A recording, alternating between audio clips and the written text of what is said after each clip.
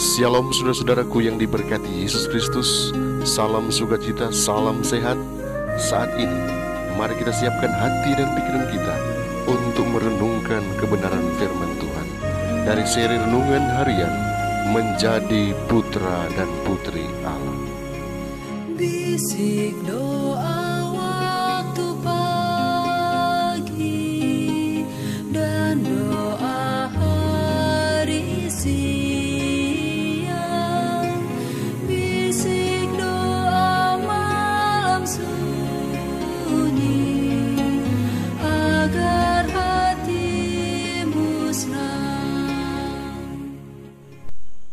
Mari kita berdoa.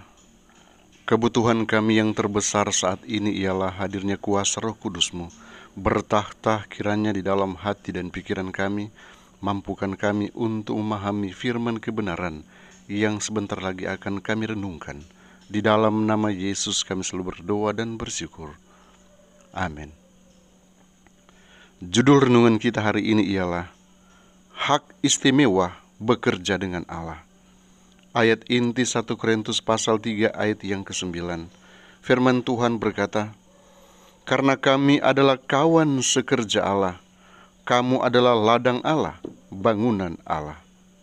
Saudaraku, jika engkau dapat menyadari bahwa Allah yang di sorga mengambil orang-orang yang telah memberontak terhadap pemerintahannya dan berkata kepada mereka, Engkau boleh menjadi pekerja bersama dengan aku hari ini engkau akan mengabdikan dirimu sepenuhnya kepadanya.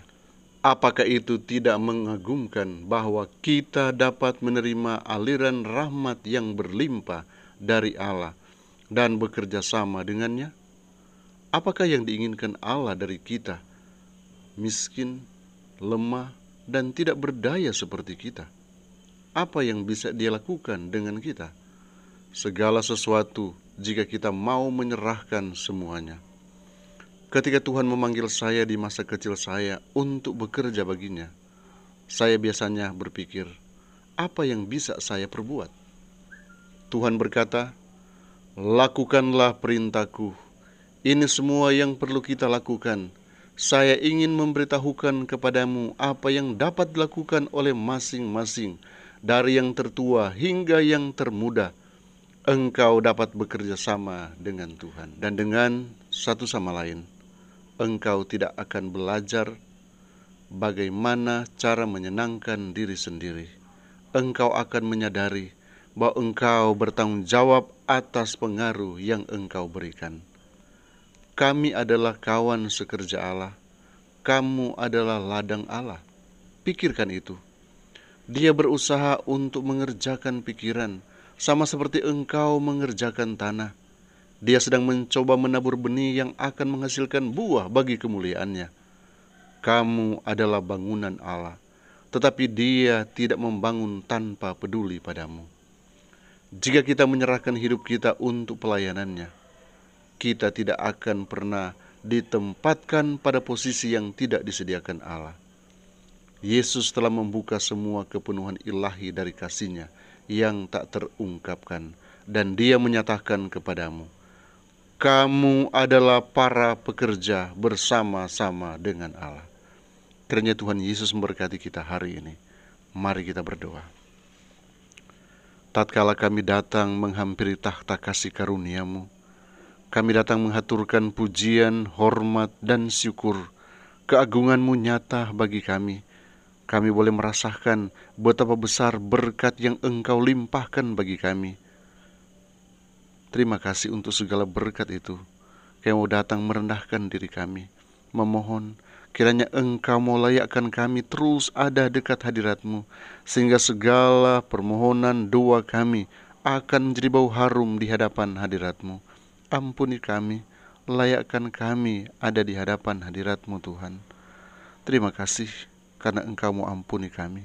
Terima kasih karena Engkau mau layakkan kami. Saat ini, kami membawa hati kami, membawa semua yang ada pada kami, menyerahkan seutuhnya hanya ke dalam tanganmu. Gunakan kami, pakai kami sesuai dengan rencanamu. Tolong pegang tangan kami, agar kami boleh berkarya bagimu, Apa pun yang dijumpai tangan kami untuk kami kerjakan, kami mau lakukan dengan segenap hati, karena kami mau melakukan untukmu Tuhan. Karena itu Tuhan, Engkau tetap jaga dan lindungi umat-umat Tuhan. Hindarkan dari COVID-19, hindarkan dari sakit penyakit mara bahaya, bahkan malapetaka yang mudah berlaku bagi kami. Biarlah Engkau arahkan kami kepada jalan kebenaran, apa pun yang akan kami lakukan berhasil. Banyak umat-umat Tuhan yang sedang bergumul, Berikan kekuatan iman kepada mereka. Mampukan mereka untuk bangkit berdiri dan menatap kehadiratmu sambil memohon kiranya rahmatmu akan dicurahkan bagi mereka bahkan bagi kami semua. Inilah doa dan permohonan kami. Inilah harapan kami. Kami selalu berdoa memohon berkatmu hanya di dalam nama Yesus Tuhan dan Juru Selamat kami. Amin. Tuhan jawab